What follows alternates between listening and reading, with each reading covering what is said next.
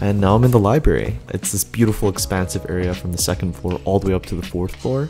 And I mainly come here because there's these things called Bloomberg terminals.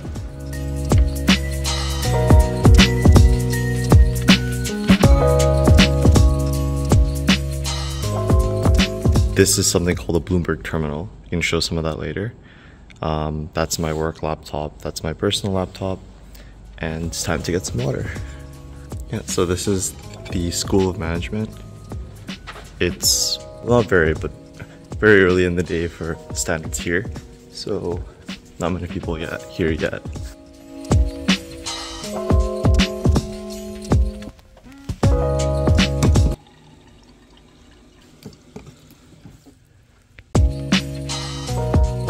So Bloomberg terminals are the data engine of finance. The thing is, they cost $2,500 per month for a subscription. Uh, so the fact that the school has these makes it really nice. Uh, and also the fact that there's multiple screens that I work with.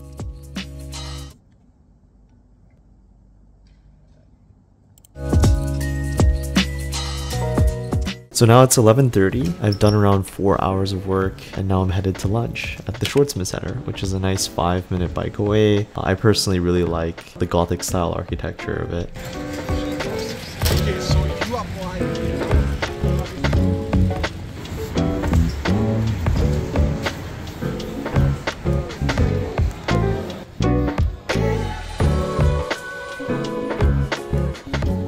Today I'm eating the classic staple rotisserie chicken. Comes with best potatoes, some sweet cauliflower, and also wonderful salsa verde and the best home-baked cookie.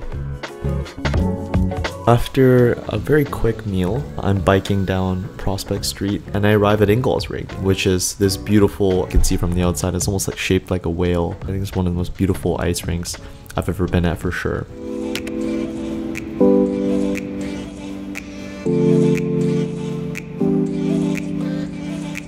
I've been skating for around 18 years now.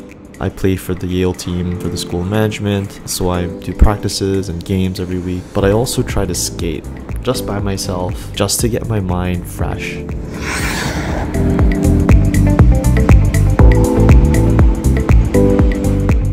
It's time for a four hour block of classes.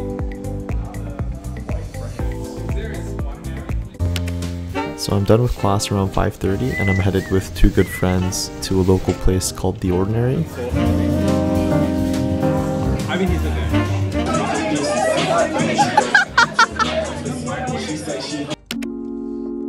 So after having a nice dinner with my friends, I'm headed back to the school. I'll just work for a few more hours. It's more letting myself have some tasks I want to complete. It's really important to make work sometimes work, but also sometimes play. Balancing that is really difficult though, but it makes sure that you keep loving what you do. And I think that's really important.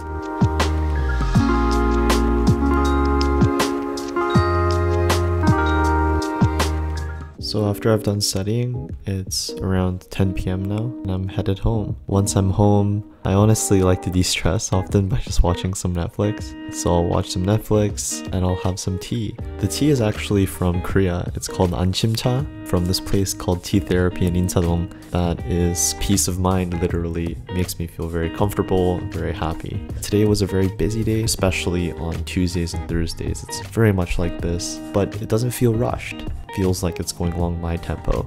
So whatever your tempo, whatever your best rhythm for a day is, just make sure you're happy at every day, you feel like you've done what you need to, and honestly, I think that's the best way to take every day, one at a time.